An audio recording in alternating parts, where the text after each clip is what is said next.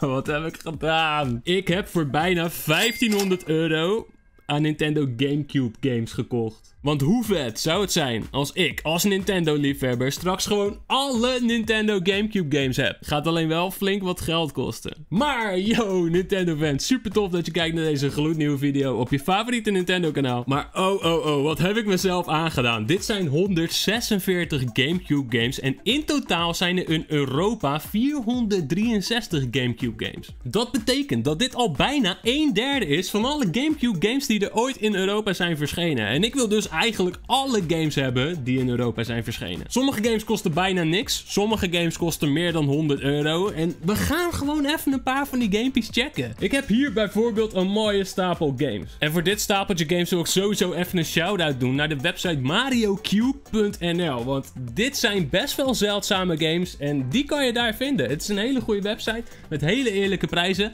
En we gaan dus even kijken welke ik allemaal van hun heb gekocht. We hebben hier bijvoorbeeld Star Fox Assault. Dit is een redelijk zeldzame game. Deze kost ongeveer 40 euro. En ik moet zeggen dat ik heel erg blij ben met de staat waarin het doosje verkeert. En ook, ik, ja, kijk, het boekje zit er gewoon allemaal bij. Het staat er gewoon allemaal netjes bij. En ook de disc ziet er gewoon wel prima uit. Er zit zelfs nog een Nintendo VIP 24-7 voucher bij. En als er nog bestond, dan zou ik hem zelfs nog open kunnen krassen voor de code. Maar helaas, dit bestaat niet meer. En vroeger kregen we er ook altijd boekjes bij. Dat was super tof. Ik wil ook alleen maar games met boekjes. Dus dat ze helemaal compleet zijn. Hier staat gewoon alle besturing in. Vaak staat er ook een stukje van het verhaal in. Alle modes staan erin. Even kijken hoor. Missie kiezen, moeilijkheidsniveau kiezen, et cetera, et cetera. Hier, zelfs alle wapens staan erin. Echt super dope. Volgens een aantal mensen is dit de betere Gamecube game van Star Fox. Maar ik moet zeggen dat ik zelf Star Fox Adventures ook wel heel tof vond. Weet je wat ik voor de Nintendo Switch wil? Ik wil een nieuwe WarioWare game. Trouwens, best wel grappig. Volgens mij is dit de enige game die hier een andere kleur heeft over dit Gamecube stukje. Maar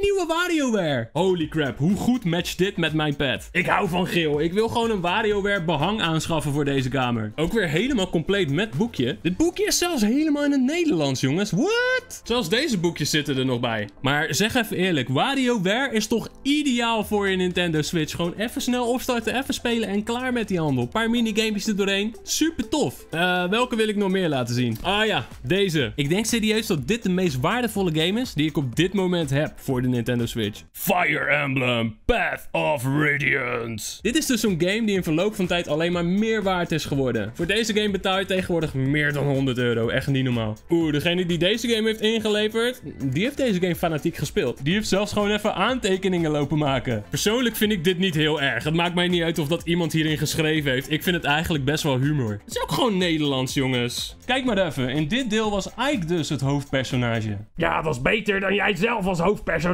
Hey, jij bent sowieso even een bijpersonage. Ga maar even chillen. Ja, dit was wel een behoorlijk prijzige investering Hey, maar het is het waard. Verder hebben we hier twee Monkey Ball games. Op de Gamecube zijn dit serieus hele goede spellen, de Monkey Ball games. Of wacht even. Misschien is dit wel mijn meest waardevolle game. Mario Superstar Baseball. Ik heb deze nog nooit gespeeld. Misschien moeten we dit eens een keer gaan proberen. Ik bedoel, Mario Tennis is ook super vet. Dus waarom baseball niet? We hebben ook nog Mario Golf. Tegenwoordig maakt Nintendo niet zo heel veel sportgames meer met Mario. Je hebt alleen nog Mario plus Sonic op de Olympische Spelen. Mario Tennis hebben we gekregen. Maar ik zou wel weer eens gewoon een Mario voetbalgame willen. En als we het daarover hebben, Mario Smash Football. Wie heeft deze game gespeeld, jongen? Deze game is echt episch. Alsjeblieft, Nintendo, gooi een nieuwe Mario Smash Football. Ook vroeger had Nintendo al best wel enge games. Ik heb hier bijvoorbeeld al allemaal Resident Evil games voor de Gamecube. Maar dit was ook echt een pareltje. Eternal Darkness. Ja, deze was wel intens voor die tijd, hoor. Dit is ook een vrij prijzige.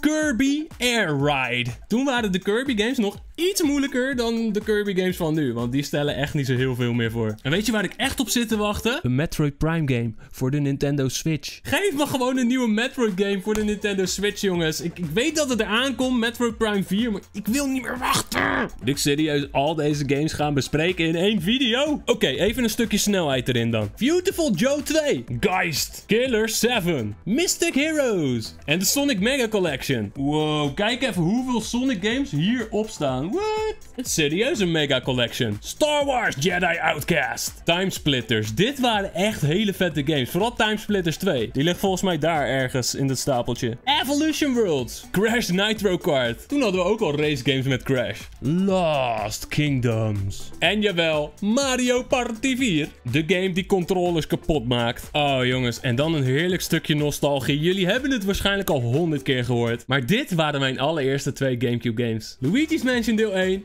en Wave Race Blue Storm. Ik had een maand gewerkt in de supermarkt. Ik kreeg 450 euro. De Gamecube kostte 250 euro. En deze twee spellen allebei 60 euro. Dus er ging 370 euro. Hoppakee. In één keer weg naar de Gamecube met twee games. Ja, ja, vet. Heel vet. Even kijken. Wat hebben we hier? Burnout? Dit is volgens mij serieus de allereerste Burnout. Want er staat voor de rest niks bij. Wat is dit? Brad! Rock Angels. Ik heb gewoon een hele lijst aan games besteld op een andere website. En blijkbaar zat deze daar ook bij, want deze zal goedkoop geweest zijn.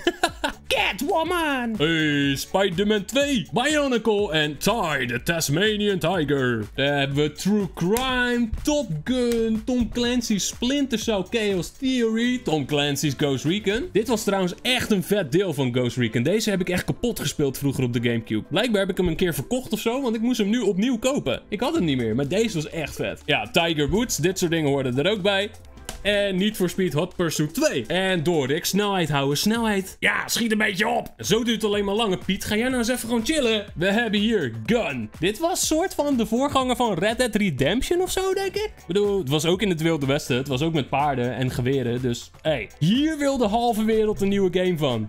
F-Zero GX. Als je nog niet wist waar Captain Falcon vandaan kwam, dan weet je het nu. Extreme G3. Soort van F-Zero, maar dan minder goed. Def Jam Vendetta. Deze was sick. Dit was gewoon knokken met rappers. Met DMX, met Rapman, met Ludacris. Dat soort gasten allemaal. Ehm, ja, met knappe vrouwen op een fiets chillen of zo. En door. Beyond Good and Evil. Er is een deel 2 in de maak, maar wanneer die gaat komen, dat weet niemand. Maar Beyond Good and Evil was serieus een van de betere games voor de Gamecube. Sowieso. Als je deze nog nooit gespeeld hebt, gaat spelen. Ik heb hier Batman Begins. Prince of Persia The Sands of Time. En volgens mij is er sprake dat deze game geremaked wordt voor onder andere de Nintendo Switch. En dat zou super dope zijn, want dit is echt een hele vette Prince of Persia game. Doe maar Ubisoft, doe deze maar even gauw remaken. Ik ga hem sowieso weer spelen. Hoppakee, nog een Need for Speed Underground. Deze waren dik, jongen. Dit waren de eerste Need for Speeds waarin je volledig je auto helemaal kon pimpen. Echt heel dope. En Piano 3. Echt een underrated game. Heel veel mensen zijn deze denk ik vergeten.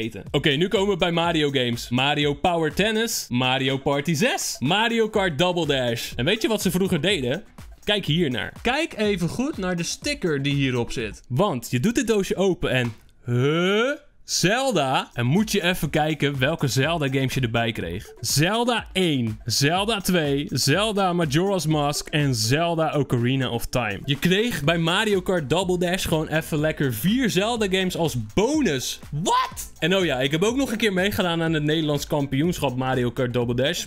Ik haalde de kwartfinale en toen kreeg ik een Donkey Kong kart en ja, toen kwam ik niet meer vooruit. We hebben hier Smash. We hebben hier Mario Sunshine. Die hopelijk toch ook naar de Nintendo Switch gaat komen. Nog een Star Wars game. Rogue Leader. Hierin zat je in zo'n battleship. En moest je alles kapot schieten wat er voor je langs kwam. Echt heel cool. Dit is mijn favoriete Star Fox game. Star Fox Adventures. Het is een soort van Zelda-achtige game. Maar dan met Star Fox. Echt leuk. En dan naar mijn mening twee van de beste snowboard games alle tijden. SSX 3 en SSX Tricky. It's tricky. Tricky, tricky, tricky. Oké jongens, nu moet ik echt even tempo maken. SpongeBob 13, die komt binnenkort ook naar de Nintendo Switch. Beautiful Joe nummer 1. Tony Hawk's Pro Skater 3 en 4. Time Splitters 2. Oh, I love this game. Deze heb ik echt veel gespeeld. Misschien wel de beste Lord of the Rings game. Lord of the Rings The Third Age. Dit was gewoon een RPG. Ik vond deze echt heel cool. Deze mogen ze eigenlijk ook wel remaken van mij. Gaat toch nooit gebeuren, maar goed. Op de Gamecube waren ook twee hele toffe Zelda games uitgekomen. Namelijk The Wind Waker